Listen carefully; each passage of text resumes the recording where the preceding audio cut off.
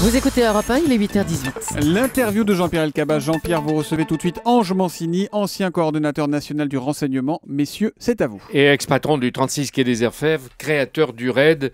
Nous sommes heureux de vous accueillir. Bienvenue Ange Mancini, bonjour. Bonjour euh, Michel Elkabach. Euh, toutes les polices euh, cherchent donc ce tueur sans désemparer. Tel qu'on le décrit, il représente un danger. Est-ce qu'il peut recommencer aujourd'hui? Évidemment oui, parce que de toute façon, si vous voulez, c'est quelqu'un dont on ignore totalement les motivations.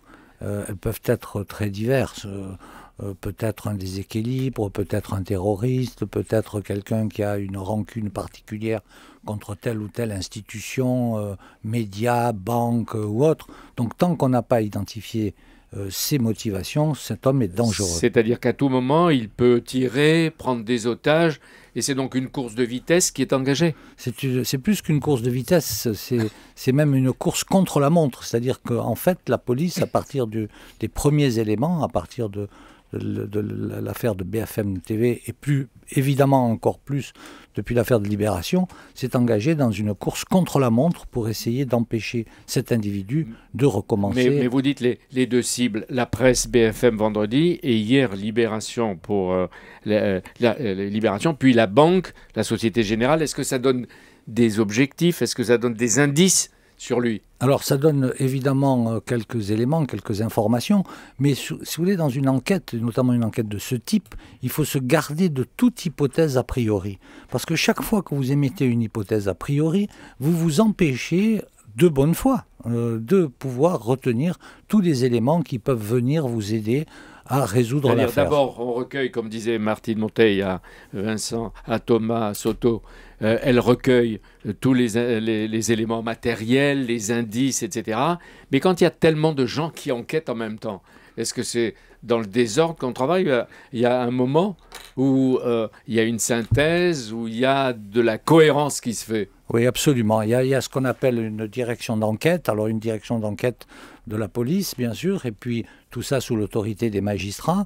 Euh, c'est un, ensemble, tous ces petits faits euh, viennent euh, se rajouter euh, dans un immense puzzle qui petit à petit prend, euh, fait surgir une image et apporte tous les éléments nécessaires à la résolution de cette affaire. En, en faveur de qui joue le temps, Ange Mancini? Alors, le, le temps, et c'est un peu cynique de le dire, le temps joue euh, en faveur de, des services de police euh, qui le recherchent parce que plus cet homme va commettre des, des- des faits et plus il va laisser derrière lui des traces, des indices. Et on a actuellement, avec une police euh, technique et scientifique, les moyens de recueillir des éléments extrêmement importants. Et donc, il va accumuler contre lui des éléments euh, qui permettront d'abord son identification, ensuite sa localisation et enfin son arrestation. Mais d'abord, l'identification. Voilà, l'identification est l'élément Et essentiel. vous pensez qu'en ce moment, on est en train de progresser?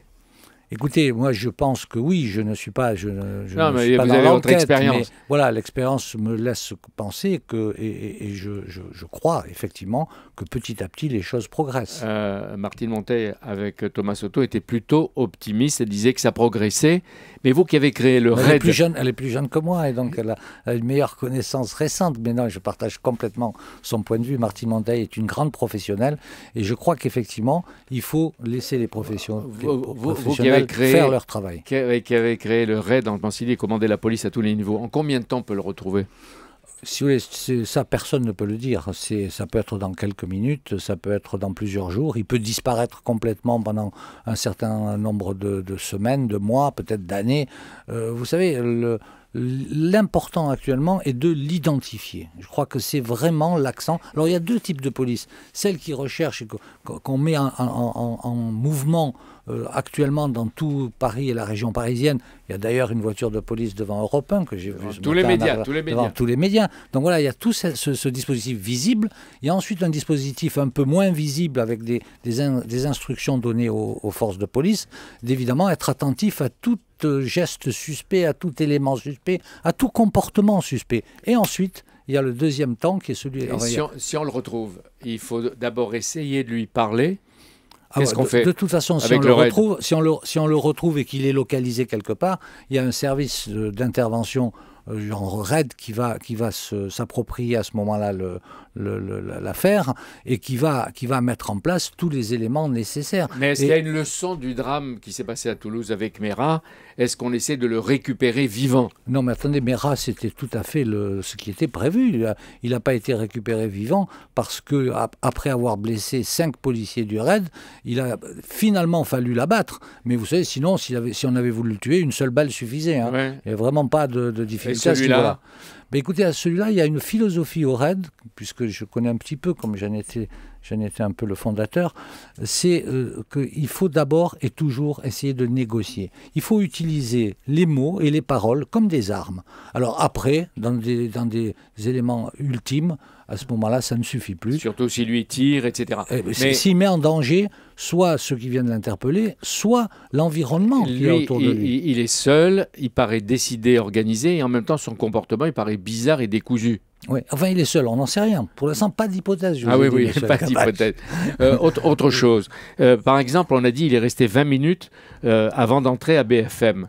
on se disait c'est la preuve de sa détermination. Vous avez peut-être une autre idée. Bah, les deux. Ça peut être la preuve de sa détermination, mais ça peut être la preuve de son hésitation, de sa peur, de, sa motivation, d'essayer de, se motiver. vous voyez, les faits en général ne sont jamais univoque. Il y a toujours euh, une sorte d'équivoque qui fait qu'il faut être en mesure de les expliquer, de les interpréter. qu'il est un peu bizarre parce que euh, est-ce qu'il y a de la cohérence dans ses actes? Il tire sur notre confrère photographe de Libération, il disparaît, il prend en otage un automobiliste, il se fait conduire de la défense aux Champs-Élysées, il parle et il ne tire pas, ce qu'il aurait pu faire.